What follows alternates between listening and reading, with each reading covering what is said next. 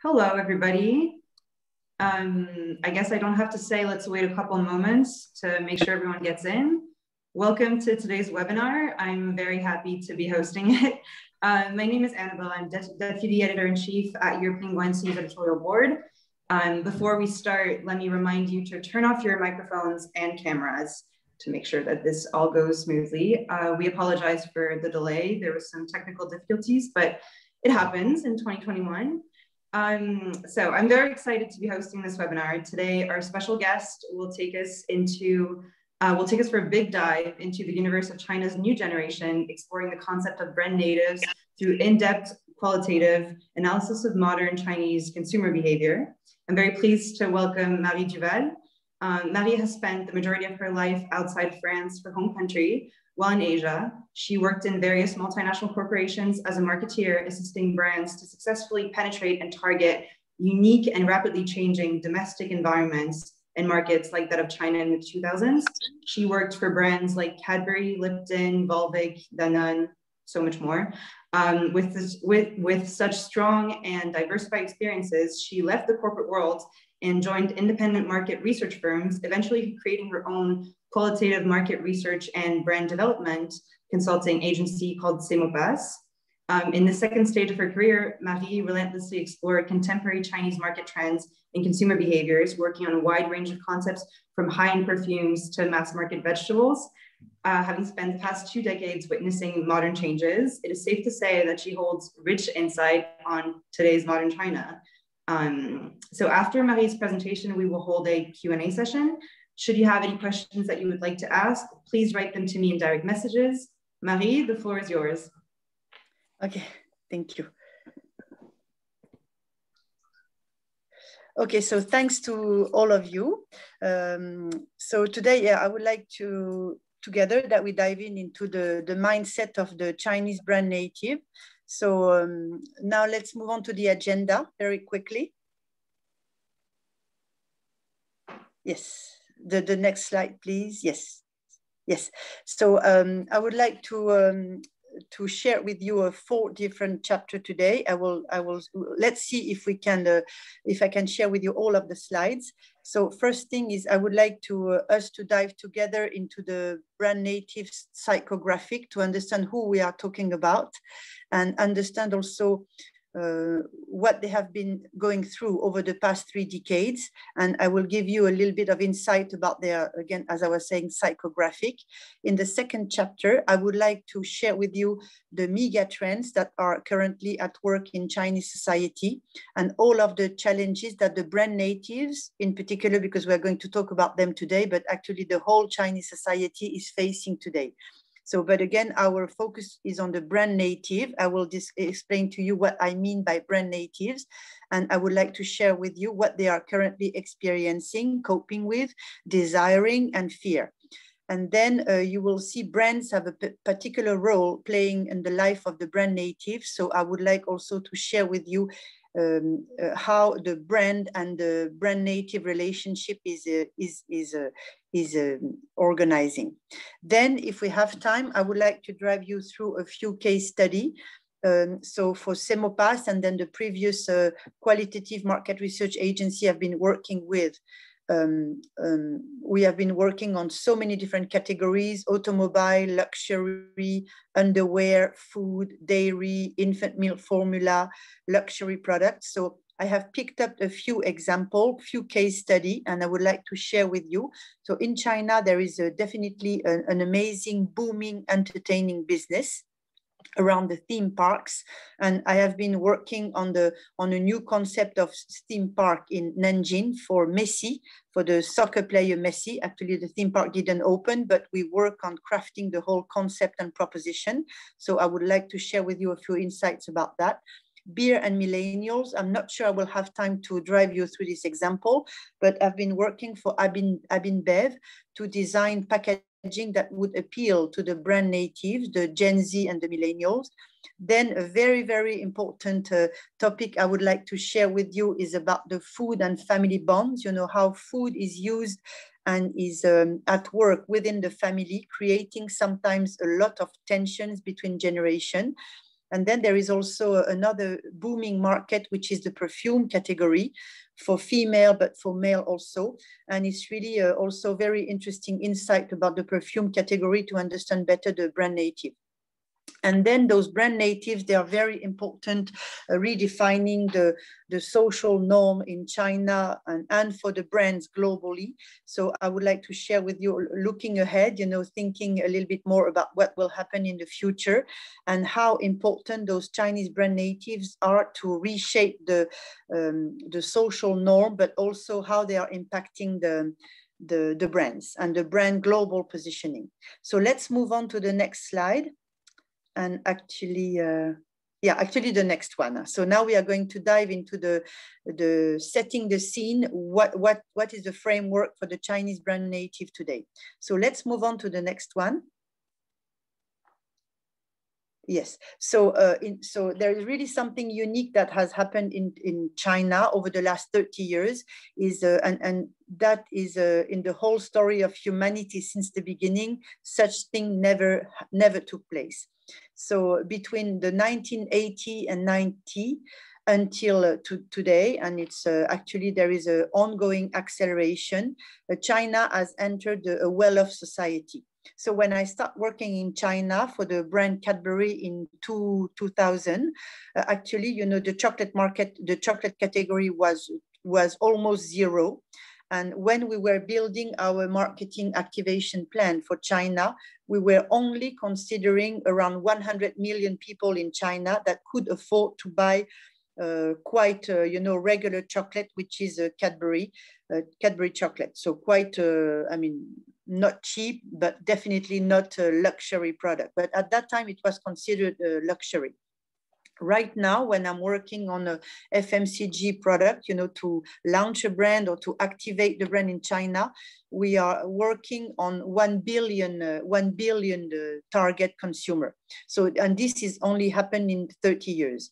So um, yeah so china has emerged to modernity and this doesn't go without uh, tension uh, collectively but also to the individual so let's move on to the, the next slide.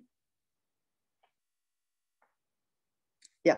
So deng xiaoping you know uh, after the the catastrophe uh, and more than that the, the drama that took place on tiananmen uh, it was a missed opportunity for china to to really evolve in a totally different type of society and governance.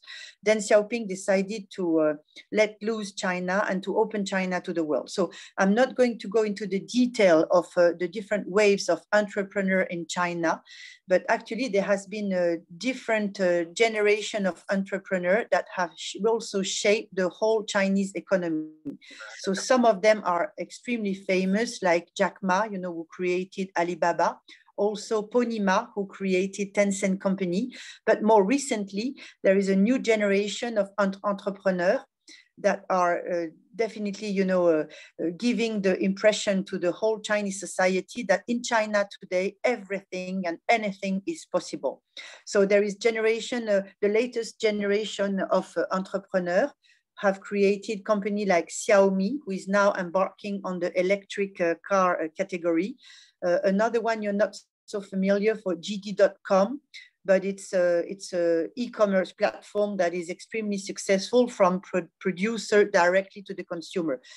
Mobike was an amazing example created by a very uh, talented uh, young Chinese woman, Hu Weiwei, and, and there is a, another company. So really this generation of entrepreneurs and, and the different waves have also shaped the whole impression for the whole Chinese society that uh, uh, no matter what you want, you know, there is opportunity to get it. So this is a, in a way extremely optimistic and and uh, let give the impression to the brand native that they can make it and they can achieve it as well. So let's move on to the next slide. So also what has happened uh, i was uh, explaining again uh, more on the on the time frame what has happened over the last 30 years. But what has ha happened in terms of uh, the way the chinese people live their life is uh, we have also seen a rising middle class. So i was giving you this example of only targeting 100 million people and today is 1 billion in only 20 years. The booming digitalization and and uh, you know what's happening in China is also China in terms of uh, the the social e-commerce system they have created. They have they are. I will give you a few slides just to explain very briefly, but this is something that is very unique to China that can only be possible in China because China is actually a closed uh, a closed system and they are totally uh, not totally but almost disconnected from the the big um, the, the big internet uh, uh, worldwide network. They have they are really creating something that is working in autonomy. And then you know there is much more security for the money transaction via WeChat etc it's super controlled of course but it's also quite secure so disruptive urbanization, I mean, this goes without saying that uh, for the people who have, who have had a chance to travel or live in China over the last 20 years, you know, you just don't recognize the, the city you, you, have been, uh, you have been familiar with. I remember interviewing a, a young Chinese guy who was living in, in uh, Shanghai, but he was originally from Xi'an. And he was telling me, you know, he grew up in Xi'an and he had his, uh, his child bedroom. And he has been quite bored as a child, as many uh, uh, Chinese uh, kids from the single, single child generation so he has been looking through his window uh, at a mountain that he, he had an overview of from his uh, bedroom. And one day for Chinese New Year, he returned to his uh, hometown to visit his parents and grandparents and have all of the Chinese New Year celebration. And he looked through the window and the mountain had disappeared. So how many people in the world can say, you know, there was a mountain here and uh, after two years, I come back to my hometown or maybe three years and the mountain has disappeared. So this is definitely has a, an amazing impact on, on the mindset and also the level of anxiety that Chinese people might have. Hypermobility. So also us, you know, we have been traveling really extensively in China and in Asia over the last 30 years. But uh, I remember also the green train, you know, that were moving in the night at 30, 35 kilometer per hour. And uh, recently we went to, um, we, we came back from Shanghai to, to Europe by train and we crossed China. Uh, so this is a few thousand kilometers in, in only uh, 36 hours with a super fast uh, train. But, and, and, this is a, a view of a, a China um, you know, the, the elevated highway in, in Shanghai that I show on this picture. So the hypermobility is not only uh, physical and geographic, but is also for the uh, for the for the working people. You know, uh, people are moving from a third tier city to higher tier city, and that uh, that uh, means that they really have to change the, the, the type of lifestyle, and they have to adapt to totally different types of uh, city, urban, and peer environment. Okay, so let's move on to the, the next slide. So brand native, when, when I, I talk about brand native, uh, I would like to give you a bit more insight about in terms of uh, psychodemographic about who they are. So actually with brand native is all of the people that were born uh, after the post 80 uh, generation. So they all belong to the single child uh, family which also has a, a major impact also on the on the, the type of uh, psychology you have, on the way you you you can relate to others, huh? because uh, you don't have siblings no, uh, no longer in China. I mean, it's starting again because the single child policy is uh, is losing losing up right now in China without the effect that the Chinese government was expecting. Uh, but anyway, when you grow up in a single child family and you are the focus of not only two parents, but four grandparents, and you have, you know, the future of the family, you are the one that will help the family continue to grow and, and, uh, and develop, you know, that's really create, create a, a very specific mindset. So for the brand native, we include uh, what we call the Generation Z. So those are the people, they are very me-centered and they are 13 to 17 years old. So they are really uh, they actually they are, they are they have quite a lot of uh, material comfort you know they they they also they get the money from uh, again four grandparents and the parents and the parents they have benefited from the the um, uh, uh, urbanization with the uh, they, they really benefit from the this new prosperity society so they they are quite they have quite of a purchase power this generation z and uh, then, you know, we include in the brand native the young millennials. So they are 18 to 24. So most of them are college or university students or yeah yeah and those people are already you know uh, starting to think about the future so and, and also they are in an extremely intense uh, um, academic competition so uh, they are really focused on the study but they have limited uh, space to um, to to express their freedom and to start developing out of the family control who they are as individual and then we also include the older millennials. So those are the young professional they start entering the, the workforce, they are active. And here, you know, they, they start also having more money to afford, uh, uh, to afford to purchase brand and to really start crafting their lifestyle. So those, they are 25 to 35 years old and they also start integrating social consideration. They are chasing for job, for uh, partner, uh, women start thinking about uh, it's time to to get married. You know, in China, when you you you are 30, is already too old and to get married. And I will share with you a few campaign about uh, marriage, and that's a very intense pressure on on Chinese young women. So Gen Z, ultra connected, very agile, volatile, and they behave as a as herd. They really be, the the dynamic around uh, for them is uh, to behave as a herd. They are quite also easily, in a way, manipulated or influenced by, by everything they see happening on the social network.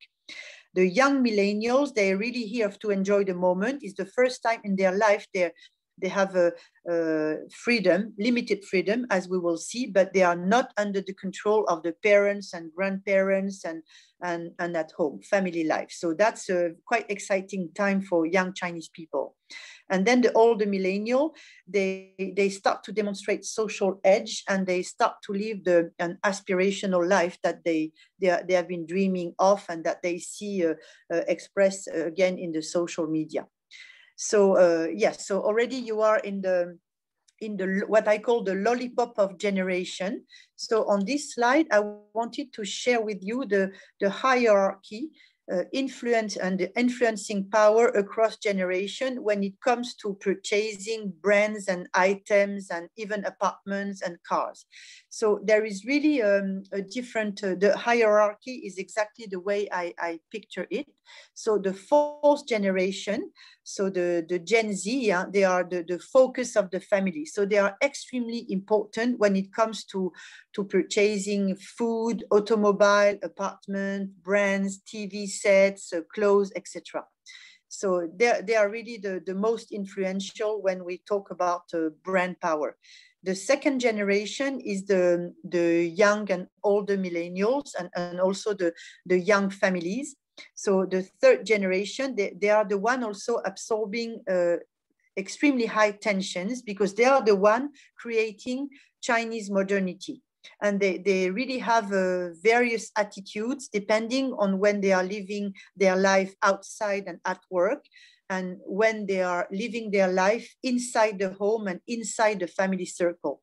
Uh, this in particular for the women, you know, women, they are almost like uh, schizophrenic in China.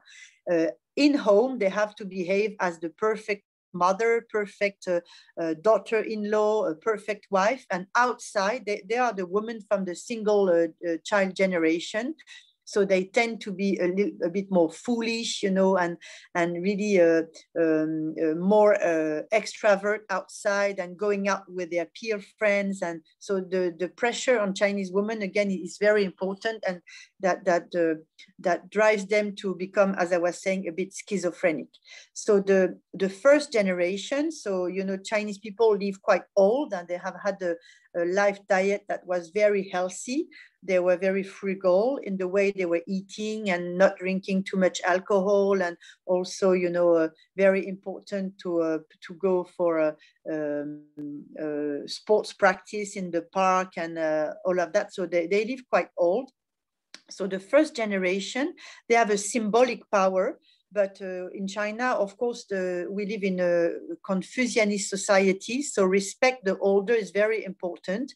And uh, uh, also many things will happen within the family circle to show respect and to, to show the care for the, the older, the oldest generation. The second generation is the people who were uh, 50 to 60.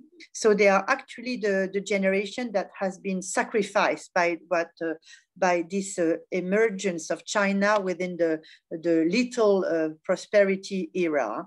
They, they really suffered from what has happened during Cultural Revolution, during their childhood. And they have been the one really uh, struggling and working hard without having a lot of money. They invested into apartments when they could, and they have uh, they have transmitted those these wealth to the next generation. But themselves, you know, they they, they have now to, to take care of the, the children, sometimes grandchildren, when the active generation is at work and commuting and, and working long hours. They have to take care of their old parents because in China, there is no such things as a retirement home. They, the, the, the, the old people, the grandparents are kept within the family. So they are really the one uh, maintaining the whole family harmony, but they didn't really uh, reap the, the harvest from, from everything that has happened in China over the last 30 years. So let's move on uh, very quickly, you know, uh, and, and we have uh, in China, when we work in brand activation and marketing, we, I mean, it takes uh, almost 60% of our time to understand how the, the, the, this amazing social e-com system is evolving because every day you have new celebrities, new live streaming, new uh, new e-com platform. So the digitalization has impacted the Chinese daily life and uh, so uh, I won't go uh, into everything that is happening every second, 60 seconds in China, but but this um, this digital world in China is is something even in Europe, even for all of you, uh, most of you that are also digital native, you you are we are not there yet in China. In China, it, it's really amazing. So let's move on to the the, the next slide, which is. A little bit, uh, yeah, can you move on to the next slide, please? Yes, so this one is quite frightening, but in China, there is a, what we call the BAT system. So it's uh, Baidu, Tencent, and Alibaba. And you see how, uh, so all of those uh, amazing uh, digital monster, they have created e-commerce platform, they have created social platform. And over the past five years, actually, which is, uh, I think, not yet happening in Europe or other Western market, uh, social and e-commerce are now becoming integrated. And even between the, the three big uh, digital monster, you can see there is uh, interaction and interconnection. So again, this digital world is, is, is, um, is, uh, is frantic, is vibrant, is fast evolving, and, um, and it's amazing. And as brand and brand natives, of course, that's the world they live in. Huh? So let's move on to the next one. Yes, so China uh, loves shopping online and uh, already uh, back in 2013, you know, China uh, uh has uh, overcome USA in terms of uh, digital digital e-com transaction.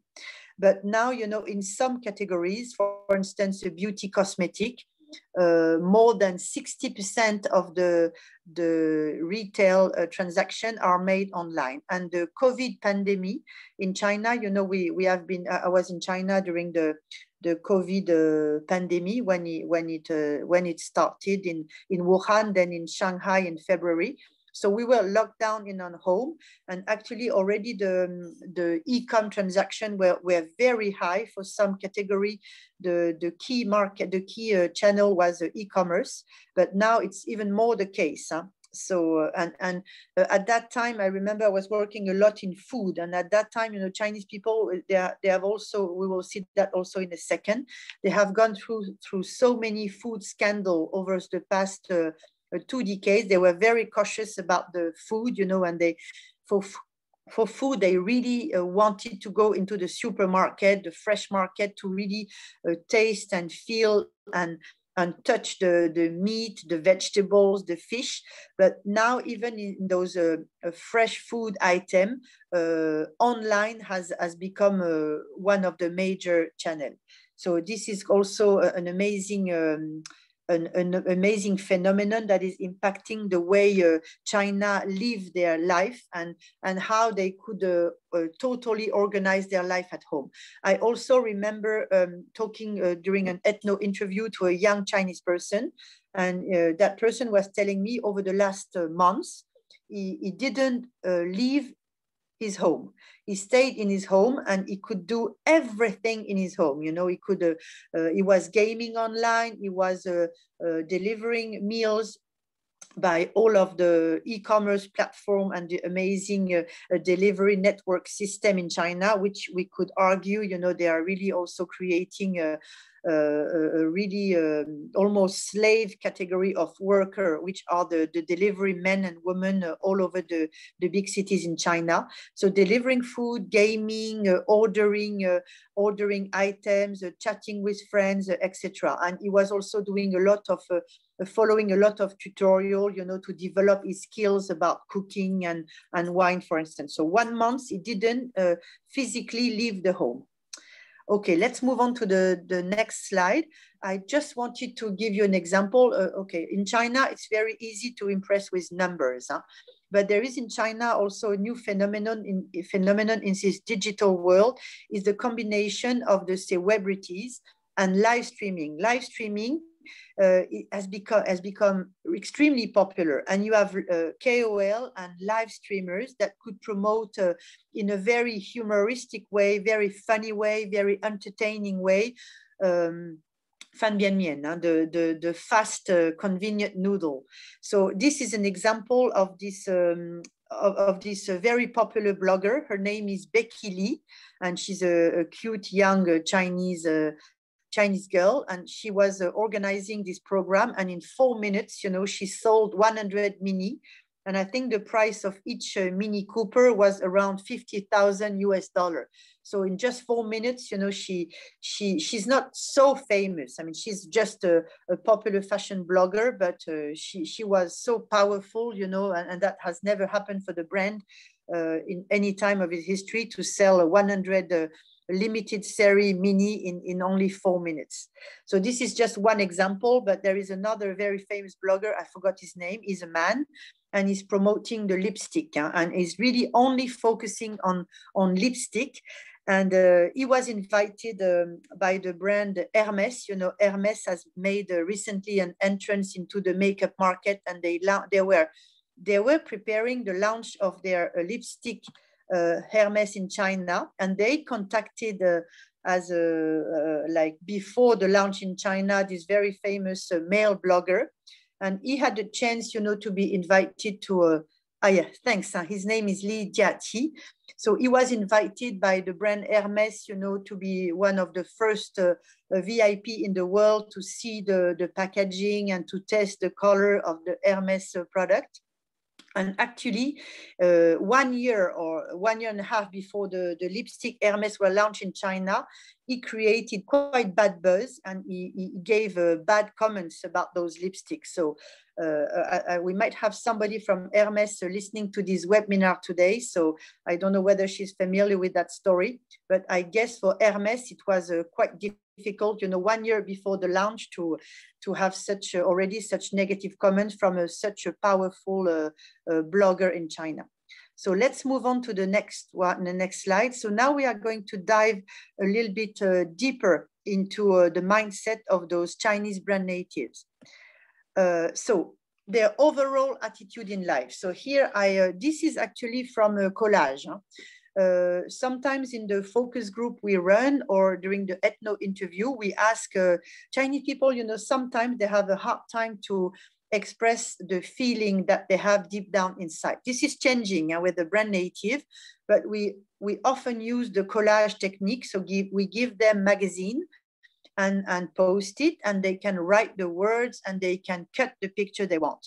So here, um, this is a combination of different pictures and words that uh, a few of Brand Native have uh, have developed during a focus group when we were kind of in a warm-up uh, uh, part of the discussion with them. And we were asking them you know what are your key values in life? What what what is what do you spend the most time thinking or considering? Or what are your feeling? So this is just a combination. So Uh, there are, and I'm, I'm, not saying that Chinese brand native are different from any uh, uh, digital native around the world, but they have some characteristics that are, are quite particular.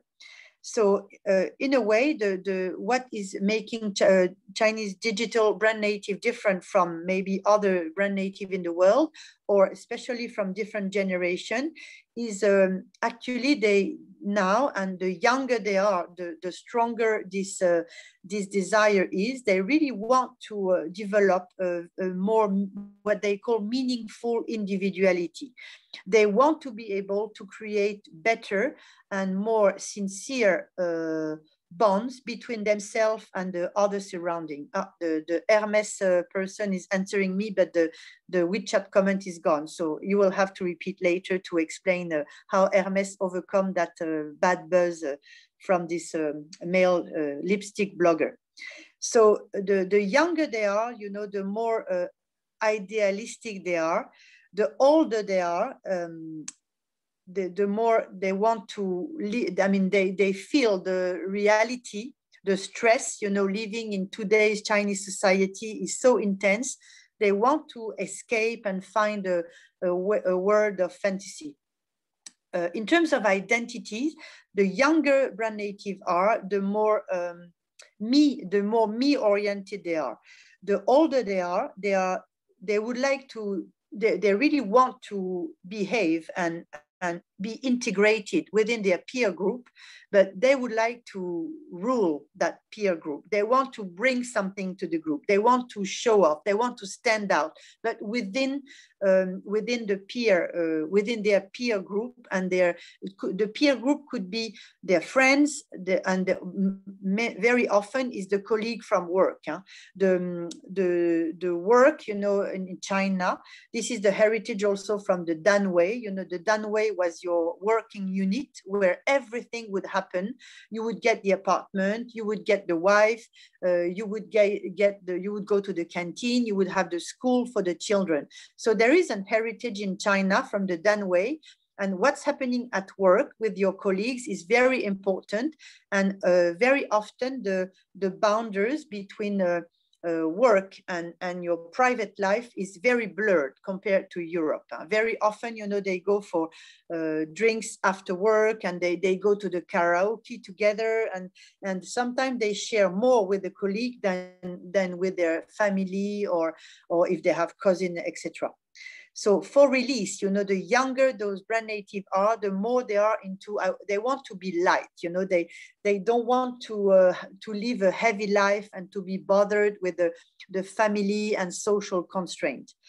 Um, in terms of bounding, um, for the for the younger, they really want they are into an explore type of attitude. They want to discover, they want to learn from other culture, from other region, from other uh, from other people having other fashion and taste and and food uh, food passion or other like hobbies like photographies or sports or tango etc uh, the older they are the more they are into consolidating their social position so let's move on to this, the next slide. I have many slides I want to share with you. So I don't want to be too talkative on each slide.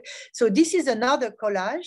Uh, I here again in an ethno interview. I was interviewing a young female journalist, so she was 27 years old, and I asked her to describe um, the, the, the day in her life in a weekday, yeah? and also to associate emotion with that.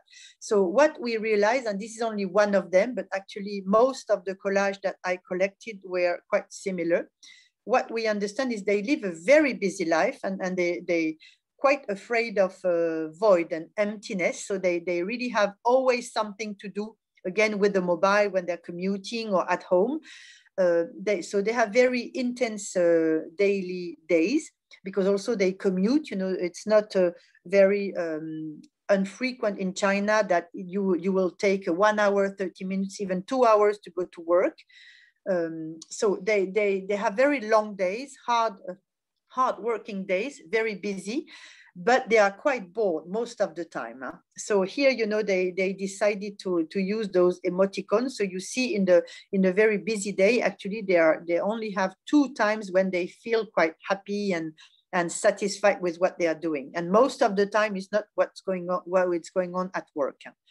Okay, let's move on to the next one.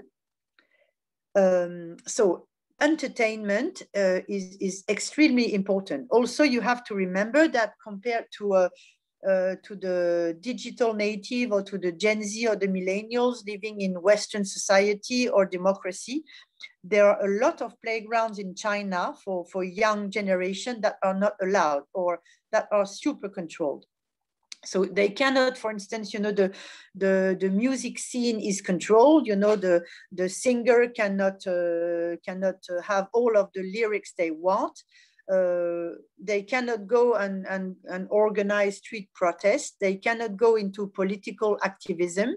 The religion of freedom is not tolerated. You know, now in China, and this has happened over the last five years, um, they have, for instance, in the Catholic Church, uh, there are cameras, and the, the people, I think it's under uh, 18s, they are not allowed to go uh, into the, the church.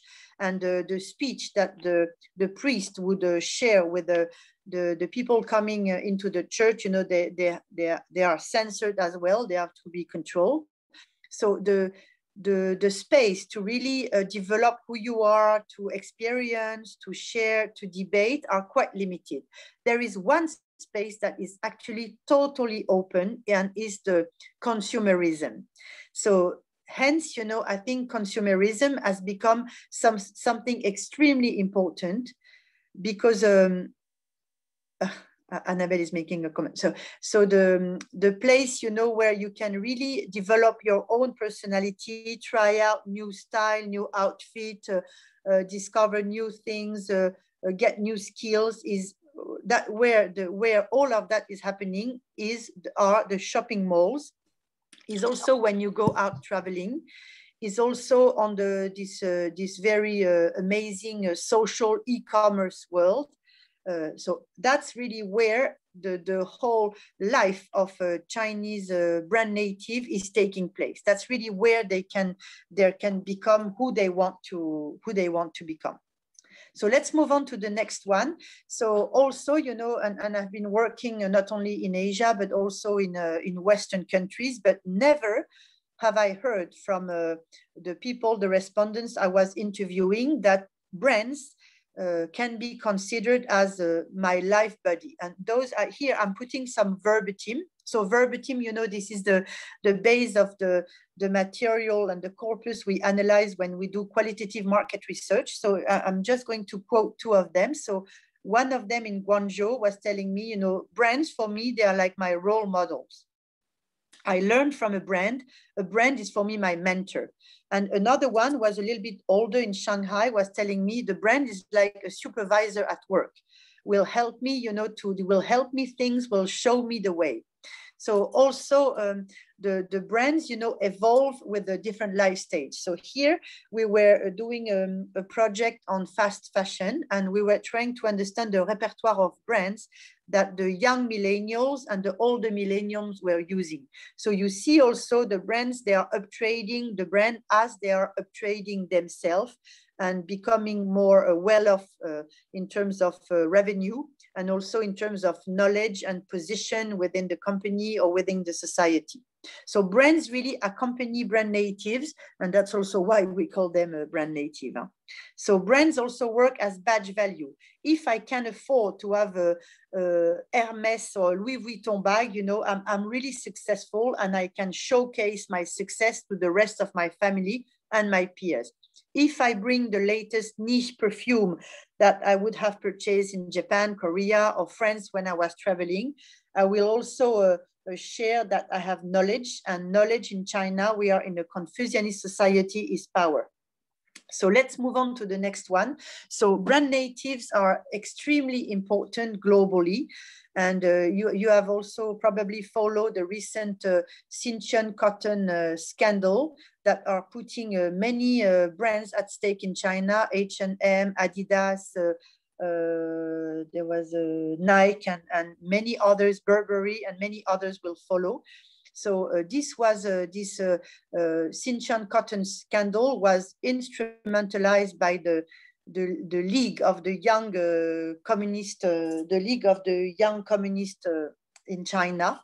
But it really showed that now you know uh, the Chinese government and uh, is using the brand native as a as a, a, strong power to influence also the the politic and, and brands now uh, they cannot have a voice as uh, many others cannot have a voice in China so brand native, they have taken control. They are now extremely mature, demanding, and they are creating a relationship with brand, which is no longer uh, into a, a top down. Now they are, uh, they are, they, they are expecting and they want to be respected and they want you know to have a word and they want also to be considered. And so this is also really changing the the game that uh, and the way brands are going to talk to the chinese audience in the in the coming years. So let's move on to the the mega trends that are shaping oh can you move on to the next slide please so I would like to share with you uh, what we call the mega trends that are shaping Chinese society today and also impacting very strongly the brand native. So brand native, they are very keen. Oh, maybe let's move on to the next one because I've put some pictures, so that will be uh, that will be more interesting. So brand native, extremely curious. They want to experience. They want to live and discover for themselves and by themselves. So of course, right now with the pandemic, you know, traveling abroad is uh, no longer an option, but um, traveling uh, uh, abroad for Chinese people and the young generation was something like extremely exciting and uh, and um, first you know they would go to uh, uh, close by countries like of course Taiwan and then Japan and then for exotic vacation to Thailand Cambodia but if you know they had a chance to go to the US and and especially to Europe, you know that would be a, a thrilling experience. They are also um, they want to enjoy the moment now, so they are really into indulgence, and we see that Shanghai now is is a city in the world where there is the most uh, the, the highest number of coffee shop huh? and, and again remember i was working on lipton for a few years and china is a tea culture so, and, and I think I, I remember working for Lipton like 15 or 10 years ago. We could not imagine that uh, all of a sudden uh, those uh, coffee shop and bakery would mushroom all over the city as they have mushroomed in, in Shanghai. So let's move on to the next slide. So the evolution of individuality. So as I was telling, uh, sharing with you already, the younger the brand native are, especially the Gen Z, the more they want to be considered as a, as a very unique and specific individual. But actually Chinese people, when you talk to them individually and when they have a chance to express individually, you know, how, how strong they feel, how confident they feel, they actually feel individually and personally quite fragile. But what they know is collectively, they are extremely strong. So the importance of we in China is always, and this has no common sense with what's happening in, in the Western society. So this, this kind of dilemma and tension between I want to become me, but I want to become me with the, the, the security and the comfort of the, of the we and collective network is, is always very, important when you deal with them. Let's move on to the next slide.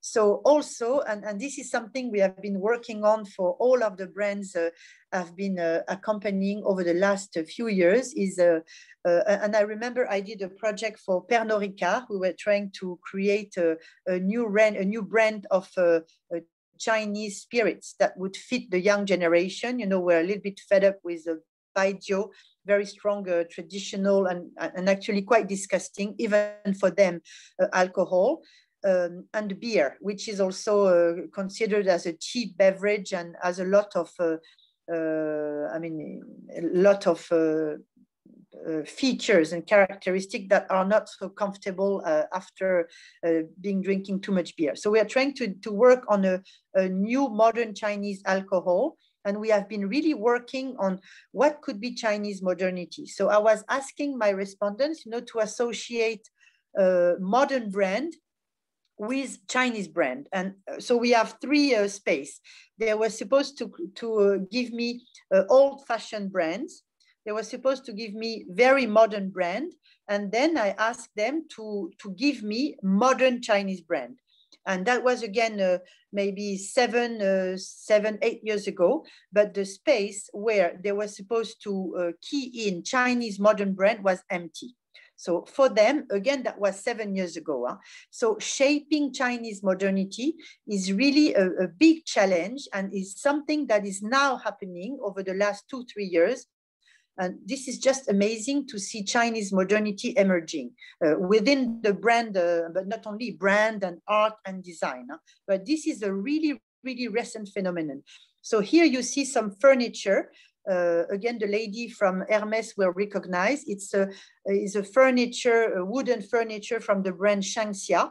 And it's uh, the, the design inspiration is from the, the, the furniture, which are amazingly beautiful and uh, elegant from the Ming Dynasty, but in a modern version. That was, I remember when I was asking all of my respondents, give me an example of a, a very Chinese, elegant modernity design. And one of them could afford, you know, to visit the Shangxia Hermes store, but quoted me that brand. So that's why I was uh, sharing you that image. So let's move on to the next slide.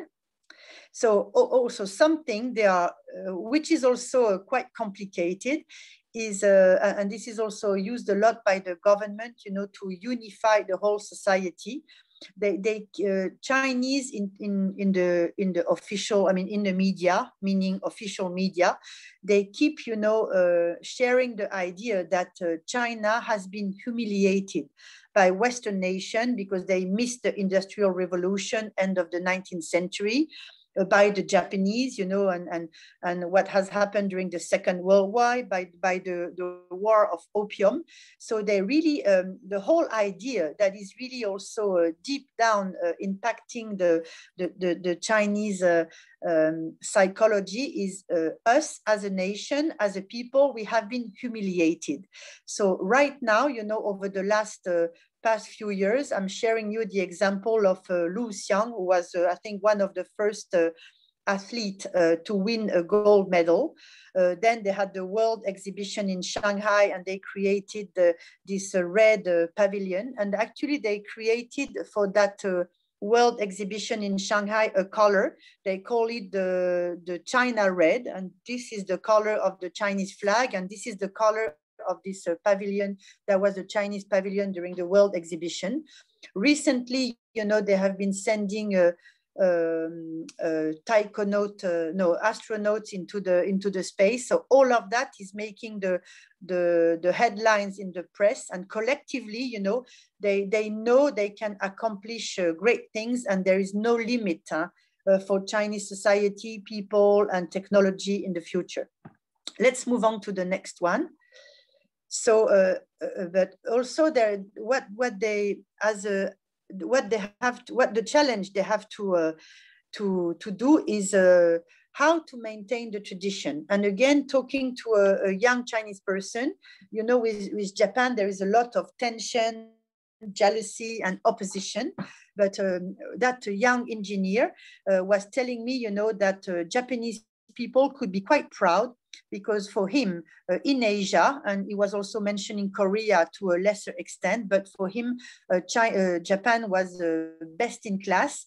Uh, Japan for him was um, a country, a society, a culture that could evolve into modernity, but stick to the to the tradition and uh, and uh, and he was also amazed, uh, uh, like he was strolling uh, one of the the area of uh, Tokyo, Ginza, and he, he, could see the kind of the, the skyscraper and all of the the huge video screens. But then he crossed the he crossed the geisha and he was amazed by how this could work in Japan, the, the, the mixing and combination of uh, modernity and tradition. And he was worried at that time when I interviewed him that China would not be able to integrate and mingle the tradition with the modernity. So China is a Confucianist society. So uh, affiliation, transmission, respect, there is a natural hierarchical order. You respect the older is, is something, you know, they have all, they all grew up with and the, the education system in China is extremely harsh. But education is also something that is at the at stake and at heart of the what this uh, generation of brand native will do. They don't want to educate the children the way they have been educated because it's too harsh it's too stressful it's too painful. And it doesn't help to develop your individuality and and uh, and to develop yourself as a balanced and uh, and quite uh, at ease type of a person so this is a very, very big challenge I come across uh, no matter which uh, project I'm working on. So let's move on to the next one. So shareability, you know, we have seen that the social e-com uh, world in China is just at the at the heart of the everyday life of brand native. But um, to to exist, you know, to to make an impression, to uh, to, to be able to yeah to live also and and to behave to behave in a way that is recognized by your peers on on the social ecom. You have to be able to share uh, to showcase your lifestyle a little bit uh, idealized lifestyle and it has to be uh, with an extremely high aesthetic. So now you know what's happening in Shanghai, all of the exhi art exhibition or uh, you have photo booths, you have uh, uh, always happenings and it's always uh, very me centered so that's also maybe becoming also in western culture but this is again coming to an extreme in china. So shareability and the level of aesthetic that is uh, requested is very high in china and this is a challenge. Okay let's move on to the next one uh, okay, so uh, I was uh, previously more talking about the positive aspect of uh, Chinese society evolving into modernity. Now I'm going to deep dive a little bit more into the individual level and all of the more negative impact it created on the at the individual level. So let's move on to the next slide. So um, and and maybe the the slides I'm going to share with you might be a little bit pessimistic. And I would say, uh, uh, I mean, I, I was uh, uh considering and checking some slide from uh, an analysis I've been uh, working with with a, a, young Taiwanese girl, a young Taiwanese analyst, but she has lived a long time in China. But I think maybe her Taiwanese brain might have impacted the way she was uh, considering what was happening in, in China nowadays. So it might be a little bit too pessimistic, but still, you know, this is something when we have a chance during the, the qualitative analysis that I run to talk uh, one-on-one -on -one with our brand native respondents, we come very often when they, they feel comfortable and when they're really uh, ready to open their heart we fall into all of those more negative consideration at individual level. So they are definitely, you know, they have seen the world uh, totally being reshaped around them. Huh? Um, the, the city of, uh, not Shanghai necessarily, but uh, all of the tier two city and, and Beijing is, uh, I mean, it's uh, quite a, catastrophe when, when you understand what has happened in, in Beijing with the total uh, new urbanization, what Beijing was before the Olympic Games and what it is today. It's really a city where as a, as a human being, as an individual, you, you feel like a, a micro, micro uh, little things lost in a, in a big uh, urban uh, gray city. So they have the sense of uh, disorientation and uh, where do I belong? You know, where do I come from? Uh, where do I belong? Where is my comfort zone? Social competition is, is uh, extremely fierce. So, you know, uh, not only you have to fight, but from very young age to get into the, the best, uh, the school and high school and, and university, and then the job, you know, every, every year in China, there are 8 millions uh, graduate students that come to the, the workforce and the economy is slowing down and before, you know, as I was saying, know, the danwei of your parents were providing you a job. Now it's free market, and you have to you have to go and fight with all of the others to get the job for the women on top of that, that you know there is a extremely high pressure which is part of the social competition on the on the beauty. You have to keep your uh, perfect skin perfect beauty uh, perfect body uh, uh, keep always very fit to be able to find the right job and the right husband and then be promoted.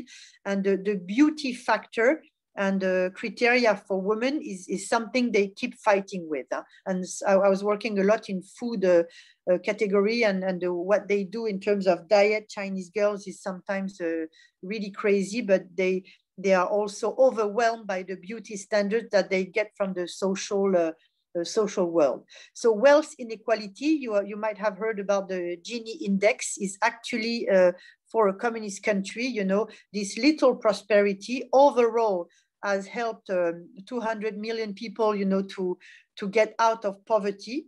But when you look at the inequality rate in China is extremely high. Uh, and then uh, housing is a, is a very important thing also. Uh, and initially I wanted to share with you a, a big project we have done in a, a, ethnographic project on home space in China. I won't have time to share it to, today with you, but the housing is, is something also that is a, uh, quite worrying for the young generation who didn't have the chance to have their parents from a tier one or tier two city. The, the young brand native coming from tier three cities have been studying and working in tier one, tier two cities, you know, they, they are really confronted with uh, how can I afford a, a, decent house? And sometimes they have to go very far away in the suburbs, you know, to have a, to have a, a house that is uh, aligned with the, the today's lifestyle standards that they are desiring. Okay, let's move on. So there is also a lot of um, uh, chaos and fragmentation when they talk about this. So definitely they are bombarded with a, a, brand, you know, activation, but there is also an amazing um, proliferation of materialistic choice.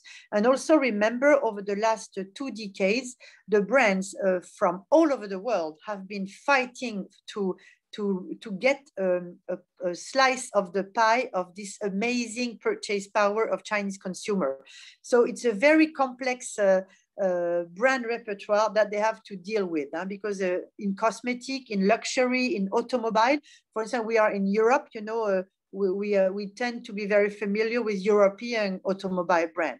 But in China, you have brands from US, Korea, Japan, China, Uh, uh, India, you know, and, and the, the, the complexity of the brand world is, is you have to deal and juggle with it.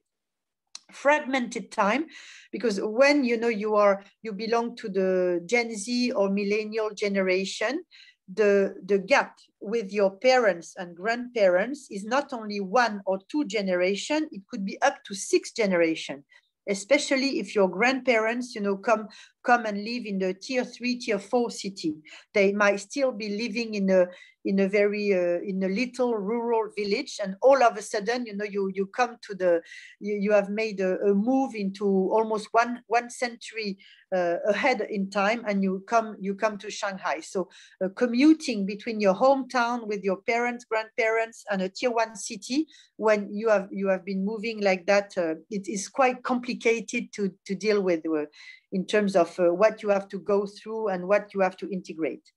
So the environmental disorder, you know, uh, again, working a lot in the food category. I remember a quote from uh, one consumer, but actually many of them. We were working on imported ham from France. And uh, I was asking them, you know, but uh, at that time the brand was considering whether they would import the the, the pigs in, in uh, China and then uh, slice them in China or whether we, we would import the ham uh, directly packed from France. And I remember the answer from a Chinese respondent. He was telling me, you know, in China, the air, the earth, and the waters all are polluted. So when we eat food, we want to make sure the pig, you know, the way they, they grew up, the way they were fed, what they were eating, the way they were they were killed and sliced. We, we really really need to be comf comfortable and confident with the whole chain. So they, they understand, you know, that what, what has come up with modernity is also a lot of uh, uh, disruption and uh, catastrophe for the environment. They are really uh, extremely aware of that. So let's move on to the next one. So uh, this is a little bit to summarize, you know, as an individual, you you live the conflict between generation you have seen the world around you disintegrated and the urban landscape being totally reshaped you understand, you know, when you are out of your home and when you start going outside and, and going out with your friends or uh, at work, you know, social competition is extremely harsh. So you have to showcase and put on a mask. That's also very often an expression that the respondent would tell me that when they, as soon as they go out of, the, of their home, they put a mask. They have to be smiley. They have to pretend they are super confident, powerful, effective, beautiful, etc. So, uh, but deep down inside, they feel quite fragile and, and a little bit lost about uh, what is this Chinese modernity and, and how can I feel comfortable? Uh, how can I find my new comfort zone in, in this ever-changing uh, life around me? So let's move on to the next one. So Annabelle, can you tell me um, uh, if yes. I'm talking too much? Um, unfortunately, we have to stop here because we're running out of time, but this has been uh, quite comprehensive. Um, thank can, you. Can thank I just so have a, the presentation. Okay, no yeah. time for the reshaping the model because no, okay. Uh, unfortunately, we have to stop here, but as okay. some of you may have seen, there was double the amount of information that was already provided. Um, this turned more into a masterclass than a presentation, but we're so grateful for so much insight. Um, so let's move on to the Q&A session. Um, I will inaugurate the Q&A with the very first question. Um, could you perhaps discuss a bit more about the relationship between consumption and consumer behavior and freedom in China? Uh, yeah, so uh, yeah, we, we discussed that with Annabelle when we were preparing. Uh, so um, yeah, what I was saying is, uh, I think in in the life of uh, all of the human beings, you know, once you get out of your family circle, you start uh, developing and experiencing a lot to decide uh, exactly where you stand, where you fit when you when you are going to be the best of yourself. But as I was saying, you know, in China, the the freedom spaces are quite limited. Huh? You on on the on TV, on on the WeChat, on the on the in the newspaper. I mean, you don't have so much choice. There is only one single type of uh, of speech, let's say propaganda, even you know your own history. I remember asking also. Uh, I was doing a project uh, on the 4th of May. I was uh, doing ethnographic interview at home with uh, young respondents, and I was asking them, "Oh, by the way, you know, today is 4th of May. Uh, does it ring a bell? What has happened in China over the last decades, etc." And uh, nobody me uh, Tiananmen Square. One of them was very interesting. Told me, "Oh, that's the the death of the Ayatollah Khomeini." So okay, the guy was quite uh, educated, I guess, but uh, so so they don't even know what has happened in their the rev cultural revolution black box. Nobody talks about it. So the playground they have is uh, also in the city. You know, the the climate and uh, is not so easy in city like Shanghai, even Beijing. It's too hot or too typhoon or mosquito or whatever. So uh, they, they, they like to go to the shopping mall because the shopping mall that's where uh, you, you can experience everything. In shopping mall you have karaoke you have cinema you have a food corner you have a, a fashion show you have art exhibition you, have shops of course you have gym you have dentists you have schools you have a, so really the place where they can experience and try and are the shopping mall so the, the freedom playgrounds for brand natives, I mean, I'm making that a little bit uh, simplistic, but I think it's the shopping mall and it's consumerism.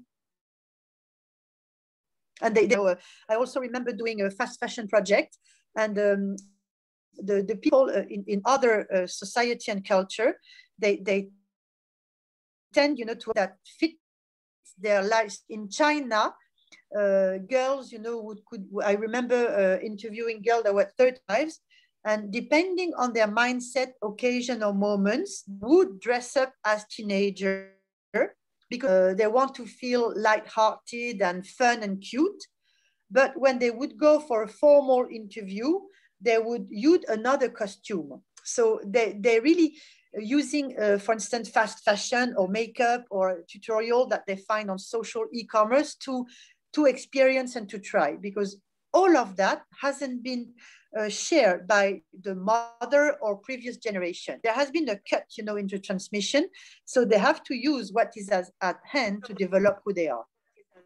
So brands again play a key role right. to help them become who they are.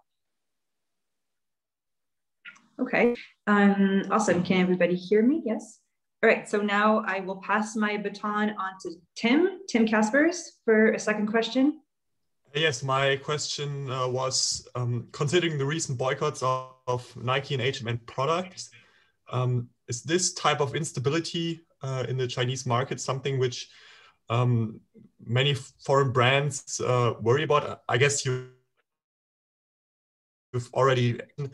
I asked this question before you talked about this uh, recent uh, development. Yeah, it's, it's, it's, extremely worrying uh, and and uh, I had a slide about that, but uh, okay, later maybe I can share with you or by other means. But uh, no, it's extremely worrying because uh, you know a brand reputation can be killed in a second in China. And, and again, now the thing is, which is uh, before it was coming from from uh, from the social communities, you know, when again, uh, uh, maybe you remember the campaign by Dolce Gabbana, which was extremely stupid. It was sexist and racist. We had this beautiful uh, Chinese uh, Asian model. I don't even know whether she was Chinese. And she was uh, eating uh, cannelloni and spaghetti with chopsticks and of course uh, she was totally clumsy. And the, the brand was uh, i mean the backlash on that brand was amazing. And that was already probably uh, four or five years ago. Uh, but now it, it's still uh, despite you know dolce and Gabbana have the produced video uh, almost crying to to send excuse to the chinese society. But I mean, the, the brand is, is really in a bad shape now. Chinese people, again, they, they really have this uh, common uh, feeling of having been humiliated by other foreign nations. So it's, it's super sensitive and touchy. But you know, some things, I remember I was working for the brand Delsey, the, the luggage uh, brand, and uh, the, the, the, marketing team was in Hong Kong and they created uh, our website. You know, you, you could click uh, to find a store in, in your surrounding area and in Hong Kong, you know, the team was from Hong Kong and the brand has been in Hong Kong uh, before uh, Hong Kong was uh, retroceded to China. And they, they so they, they had created a, a, country that was Hong Kong just for a convenience reason. You know, you're from Hong Kong, your Delsey luggage is broken. You want to go to the next Delsey store. So you don't click China, of course, you click Hong Kong. But we we had to to stop the website running and we have we had to totally reconfigure it because it was starting to become a big thing in China. So, but before it was coming from from the ground, you know, from the from the community of Chinese consumer and uh, and but now, like the cotton thing is is not really coming from from the community. Is, is coming via the government through the Young League uh, Communist Party. And then it goes in a second, it goes on the social uh, network. And, and, there is thousands of examples like that. You, you, you have to be extremely sensitive to the, the symbol and the codes and the, and so I do a lot of semiotics also when I run my, my brand project on, on naming, on logo, on, on campaign, you know, and, and it, it's very, very complicated. And I also wanted to share with you a few campaigns that have been designed by Louis Vuitton. And actually, uh, Louis Vuitton is an, is an old brand trying to reshake and, and make a revolution, you know, to attract younger generation. But they created one campaign that was only targeting the Chinese brand native. And they had a backlash in other Western society because the people were saying like, what, what is Louis Vuitton doing? You know, we just don't understand what is the, the proposition. So it's almost now, and, and what's happening now is I think brands will have to, to make a, a very complicated choice between China market and China market, meaning China brand native, which are quite specific, and the rest of the world. And I don't know how they are going to juggle that. It's, it's happening right now. So let's see, you know, how the, the, the Xinjiang cotton scandal will tame down. Uh, but again, the Chinese cotton is, is not um, coming from the community. And in the meantime, you know, Adidas was in the turmoil also of the Xinjiang cotton scandal, but it launched a, a new range of uh, sneakers and it, it went through the roof in terms of sales uh, in the same time. So let's see what's happening. But the, the political stance is quite uh, to be monitored by brands for sure. Right. Um, next question by Sandra. Sandra.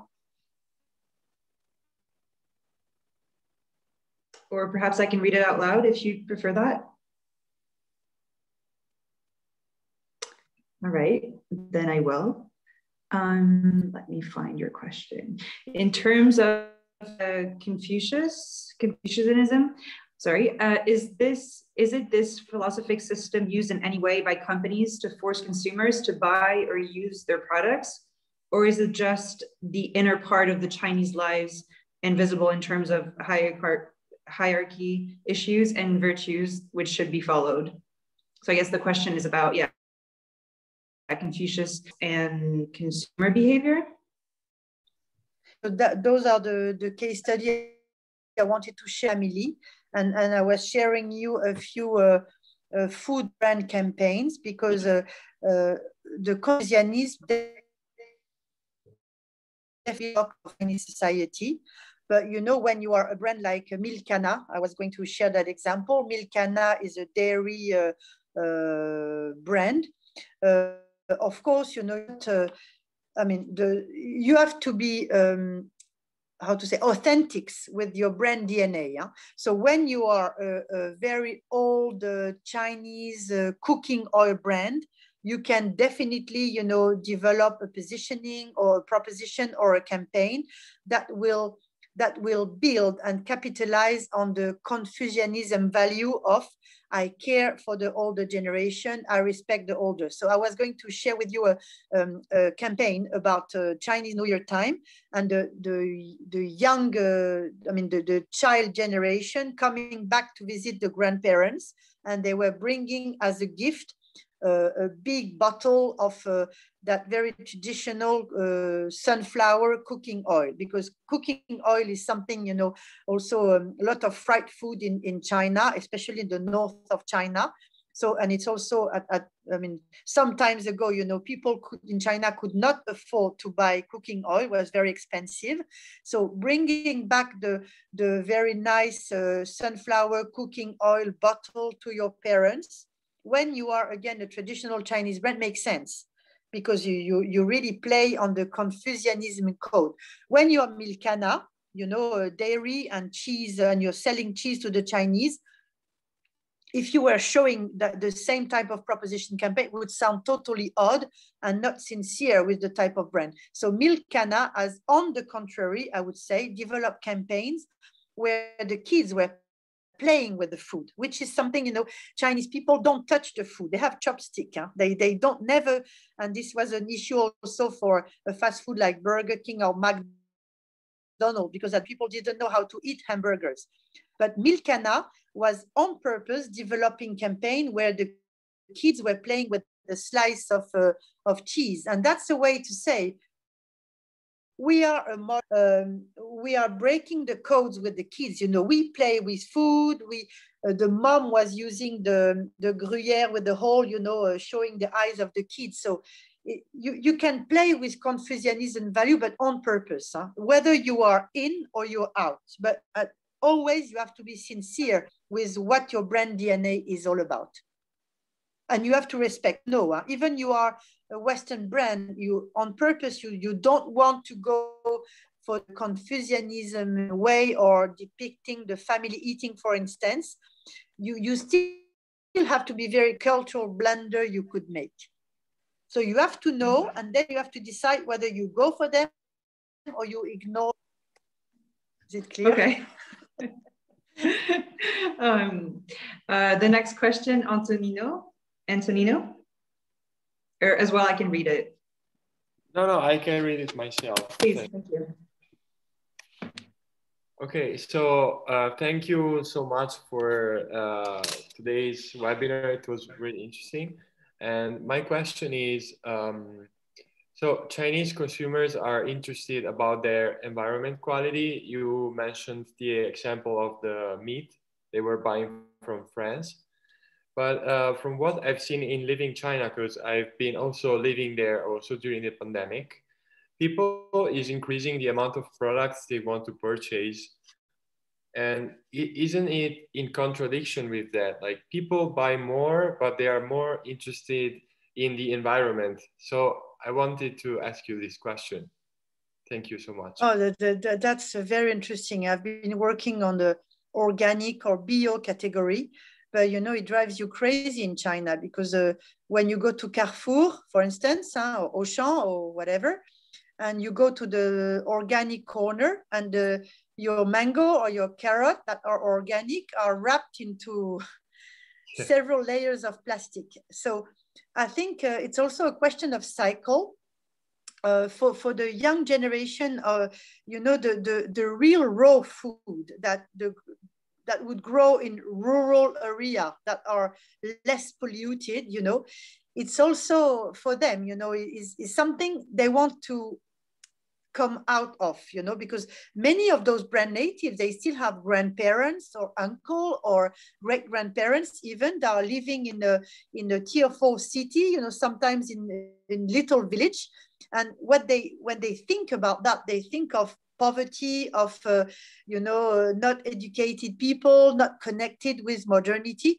So there is quite of a, a, a muddy uh, um, connection. Whoops oh, I'm sorry, neighbors. Is, I'm sorry, my neighbors are doing some silly things. Oh, so there is a connection between uh, uh, clean food coming from rural area that are not polluted and the mud aspect. So this is a little bit uh, conflicting in a way. So they care about the environment, but in a very selfish way. Yeah? They want to be able to, to pay and to make sure they get the high quality organic. You know, in, in, in France or in Western countries, you, you know, when you really go, uh, oh, I'm sorry. I'm sorry, it's awful.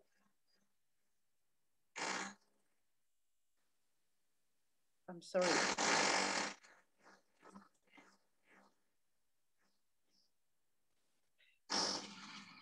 I'm sorry that it never happens. Can't believe that. Um, um, perhaps you can put on your uh, mic, uh, your earphones. Uh, wait. But we can still hear you, no problem. So okay, okay. go on. We can still hear you. I'm sorry. It's amazing.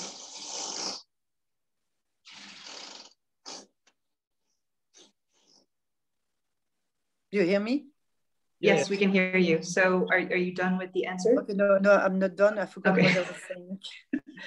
no, I, I, want to say is, uh, uh, yeah, people going definitely in a selfish way. They, they are very worried about the food because so many food scandal. They want to be, and, and they know they need to pay uh, high fees to get organic, but they are very worried about the whole logistics. So they, they are going to, to do some uh, totally opposite to environmentally friendly things to be able to eat and drink organic, clean, and, and pure uh, food. So this is not yet a mature, uh, in terms of mindset, it's not very mature. They're not, it's, a, it's, a, it's conflicting, Is it's not uh, super clean and authentic, the, the behavior and the attitude versus uh, organic. But it is really coming from a big stress uh, deriving from all of the food scandal it will change uh, over time. But right now we are not in the same cycle, Western culture and Chinese and Chinese culture about uh, environment and organic. They are, they are more interested in, for now, uh, I mean, I'm making something a bit too gen general, but they are more interesting into uh, upgrading and materialistic comfort than really thinking about the broader pictures and, and uh, the future. They, they, are, they are trapped into a, uh, grabbing fast all of the opportunity uh, and trying to save themselves in a way. Thank you. So thank you. Uh, oh, yeah. Uh, next question, Teresa. Teresa, or I can read it. Um, I can read it. Thank you. Please. Hello, first of all, thank you very much for this presentation. It's been so interesting. Um, so my question is, uh, we talked a lot about um, consumer personas and how Generation Z is being very idealistic and seeking individualism. Do you think that this generation will have an especially hard time adjusting to the reality of Chinese society once they've entered this later stage in their life where they have to adjust to working? Um, or do you think they're going to adapt a more pragmatic attitude like the young professionals who are mainly trying to assert their position in society?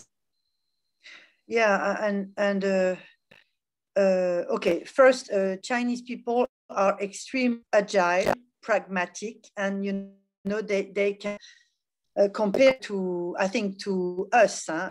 Western people. They they they are quite used to endure uh, hard times, and that's also part of the Confucianism. You know, you you are always ready um, with your Confucianist background to sacrifice yourself for your next generation. But this generation, especially the Gen Z and, and even the younger, you know, they were born in and already for uh, talking about tier, tier one, tier two, and maybe tier three cities. For them, you know, the tomorrow would be better, they would be better off tomorrow uh, materialistically than, than the day before, which is different for, for your generation. Huh? Like uh, for us you know uh, even me my generation and i think yours you are you are not so optimistic about the future because especially now with the pandemic but you know you have aids uh, you had the pollution you have the oil uh, prices you have job market becoming tighter etc our my parents they live uh, uh, booming after second world war generation. So right now the, the optimism is reducing, but we need to always have in mind that Gen Z and millennials overall, they have seen their life improving year by year, even month by month, sometimes day by day. And they have this idea, as I was saying, that everything is possible, that China is strong, that China is now high-tech nation, China is now modern nation. So this is what they they have in front of them. But again, deep down inside, they, they fear that tomorrow, and especially when they start the Gen Z moving to young millennials and moving to uh, older millennial and starting a family, they know life is going to be tough because uh, first, they, the social, there is no social security system. I think China, Chinese people, they have around equivalent of 20 euro per year uh, free, you know, to go to the public hospital. The rest of it, they have to pay for it. Uh, for instance, also, as I was saying, Chinese people live very old. I have a, a colleague of mine, she was a young mother, and she, her and her husband, they were only, uh, they're coming from the, the single child uh, generation. Uh, she had a very nice job in France, L'Oreal. She decided to come back to China because she knew she would need to afford and she was saving a lot of money because she was already aware that in 20 years, 30 years, she would, she would need to cope with her husband for uh, the life of four grandparents, plus, you know, pay for the, the studies, which are very expensive, of her little girl. And for instance, I was asking her, uh, she was in the generation, she could have had another child, and she told me, no way. First, I have no time. Second, you know, uh, my body, etc., is going to suffer if I have another child. But third, it's going, I need to save money to be able in 20 years time to pay for the education of my child and, and to have a big enough apartment. Maybe I need to host my, my uh, parents-in-law and my parents. So this generation, when they start becoming young parents, you know, pivotal to the society, they are quite worried about the future. Plus, the economy is slowing down now, and the, the job market is, is getting tougher and getting promoted, uh, having a pay rise. You know, uh, uh, a few years ago, I was discussing with a friend of mine, she was HR of L'Oreal for Asia. Every year, you have to come with a payroll increase of average 10%, 15%. That's no longer the case. But in the meantime, you know, the, the food, uh, if you want to, uh, we were talking about food, if you want to be extremely sure about the food you, you eat, then you want imported food from Australia, New Zealand, or Europe, or etc. No longer from Japan because of Fukushima. But you have to pay to get your avocado from Mexico, your dairy from France, and, and your milk and your uh, kiwi from New Zealand. So life is, is extremely expensive in China. So this generation is quite worried and they're saving a lot of money. So I, I don't know what's lying ahead, but the the lending of the Gen Z generation, you know, when they stop living in a fantasy uh, a social e-commerce world, I think it's going to be tough. And, and the Chinese government know that. And that's why the, the propaganda and the censorship is getting even more stronger because they really want to control the social uh, turmoil that is uh, around the corner, I guess. Mm -hmm. Thank you so much. Yeah, this has been super insightful. Um, we have a next question, which I'll read out loud, is from Larnaudie. Uh, which place is there for environmental concerns in consumption in China?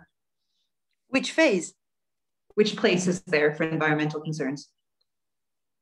Uh, can you repeat? Which place, like what, how much does it matter, environmental concerns? Uh, okay. Um, it's, it's, a, it's a deep down inside worry but it's something I think they put in the back of their mind. They are, as I was also explaining, the Gen Z in particular and young millennials, a little bit less so for the older millennials, they are in the, I want to enjoy the moment now. You know, there was also a, a traditionally Chinese people are really a savvy and frugal people. They have a lot of money on their bank account because again, they know they don't have social security, retirement, uh, they will have to afford for the rest of their life by themselves and they have to take care about older and younger. Uh, but now there is also a new phenomenon is the young generation they tend to to spend more than than they have on their bank account. So they rely on the on the parents fortune. So i think now they they are quite aware that uh, there, there are some major environmental issue, which by the way, are not uh, exactly uh, and transparently shared on, on, the, on the media, but they put that in the back of their mind to enjoy the moment. And as long as they think they have a way to uh, escape, meaning, you know, again, buying imported food or having some uh, going to the, the gym, you know, to, to keep a, a healthy uh, lifestyle, I think they, they, they think they can overcome the environmental uh, issues and they can pay for air purifier, the latest uh, uh, Swiss brand or Japanese brand, you know. I think via the, the money and, um, and, yeah, and paying uh, to guarantee for themselves within the home the, the right security, hygiene, and safe environment. So that's the strategy. It's a little bit short term, huh? but it will again, it will hit them in a harder way uh, sometimes. All right, well, that's the last question I had in store. Um, one small thing for the audience, I kindly you, I, I kindly ask you all to take the time to fill in the survey questions uh, before the end of this event. And last but not least, I invite you all in to join me in cheering and thanking Marie for the impressive work and presentation and insight. So. I'm cheering on my own probably.